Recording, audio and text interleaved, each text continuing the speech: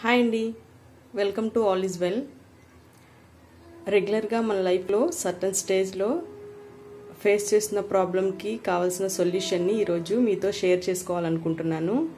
అదేంటంటే జనరల్గా చిన్నపిల్లలకు పుట్టిన తర్వాత సిరిలాక్ స్టేజ్ దాటిన తర్వాత మనము అన్నం స్టార్ట్ చేస్తాము.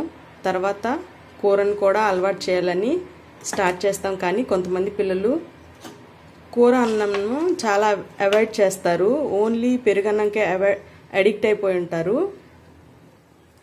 అట్లాంటి పిల్లలకు మనం ఎలా కూర అన్నాన్ని వాళ్ళకి అలవాటు చేయాలో స్టెప్ బై స్టెప్ మీకు ఎక్స్ప్లెయిన్ చేస్తానండి.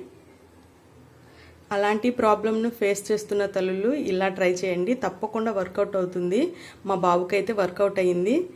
అదేంటంటే ఫస్ట్ మనం రైస్ని మెత్తగా చేసుకొని పిల్లలకు అలవాటు చేయడానికి స్టార్ట్ చేస్తాం కదా. తర్వాత మనం కూర అన్నాన్ని స్టార్ట్ చేసేటప్పుడు ఎప్పుడైనా పీసెస్ను మాత్రమే అంటే మనం రెగ్యులర్గా ఇంట్లో చేసుకున్న కర్రీలోని పీసెస్ను పక్కకు తీసి దాన్ని సపరేట్గా పులుసు లేకుండా పక్కన సపరేట్ బౌల్లో ఉంచుకోండి. అస్సలు కారమే అలవాట్లేదు ఇప్పుడే స్టార్ట్ చేస్తున్నాము అనుకుంటే పక్కకు తీసుకున్న పీసెస్ని లైట్గా వాటర్తో వాష్ చేయండి. అంటే అసలు అది ఉప్పు కారంలో ఉడుకుతుంది. పైనున్న గ్రేవీ కొంచెం పోతుంది కాబట్టి మనము ఫస్ట్ వాటర్లో దాన్ని లైట్గా తీసేసి అన్నంలో యాడ్ చేద్దాం.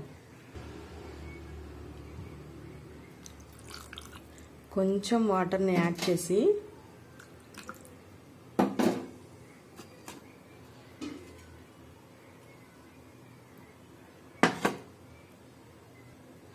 పక్కకు తీసేయండి వాటర్ని.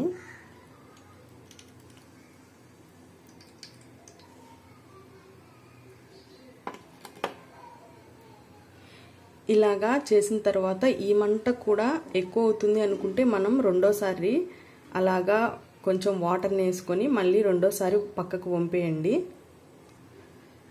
మా బాబుకి అయితే ఈ మాత్రం కారం సరిపోతుంది. తర్వాత మనం మెత్తగా చేసి ఉంచుకున్న రైస్ని బౌల్లో వేసుకొని ఓన్లీ పీసెస్ని మిక్స్ చేద్దాం. ఫస్ట్ ఇలా అలవాటు చేయడం స్టార్ట్ చేయండి. నెక్స్ట్ మనం కర్రీలో నుంచి డైరెక్ట్గా పీసెస్ని తీసుకొని ఫుడ్లో మిక్స్ చేసేయచ్చు. ఆల్రెడీ తక్కువ తక్కువగా కారం అలవాటు అయింది కాబట్టి వాళ్ళు ఈజీగా తినేస్తారు. ఇలా వన్ బై వన్ ఒక్కో స్టెప్ టూ వీక్స్ చేయండి.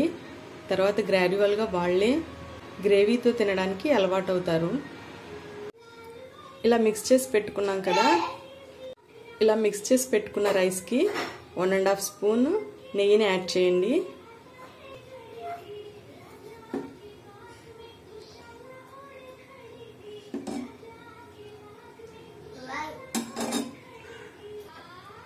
మీ పిల్లలకు నెయ్యి పడదు అనుకుంటే వన్ స్పూన్ వాటర్నైనా మనం యాడ్ చేయొచ్చు. ఎందుకంటే పిల్లలు వాటర్ కంటెంట్ ఎక్కువ లేకపోతే ఫుడ్ని నోట్లోనే నానుస్తూ ఉంటారండి మింగరు. అది మనం గమనించుకున్నట్లయితే అప్పుడు దాన్ని లూజ్ చేయడానికి మనము one spoon or two spoons water add చేసుకోవచ్చు. పిల్లలు చక్కగా తింటారు. ఈ ట్రిక్ ఫాలో అవ్వండి. కన్ఫామ్గా వర్కౌట్ అవుతుంది.